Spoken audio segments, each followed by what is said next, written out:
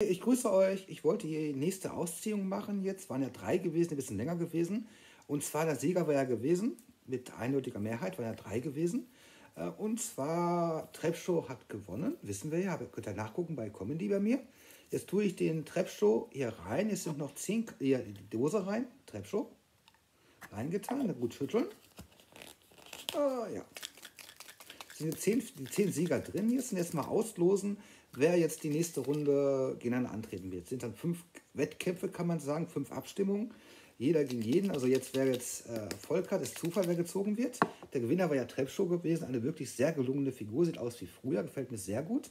Den Kiefer finde ich auch gut. Ich hätte es gut gefunden, wenn er es so gemacht hätten wie bei den Classic.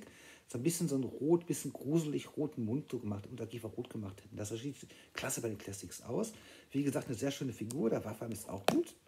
Und natürlich Zubehörteil, der Haken, die Laserkanone und natürlich hier diese Zange, kann man sagen, Greifarm. Ich finde die Figur einfach gelungen. Und ich finde ehrlich gesagt, die Figur ist eine der besten Figuren. Trapshow ist generell Lieblingscharakter von mir. Auch bei dem Masterverse ist er richtig cool geworden. Die zweite Version davon wohlgemerkt.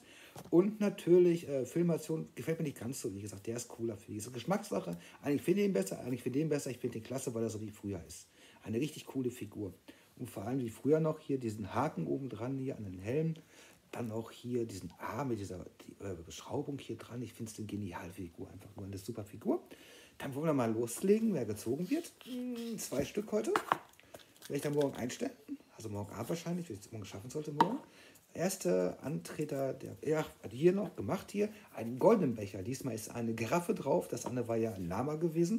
Die goldenen Becher mit äh, Finale kann man sagen. Mal gucken, wie ich das nächste mache, wenn jetzt fünf Sieger sind. Hier ist der goldene Becher.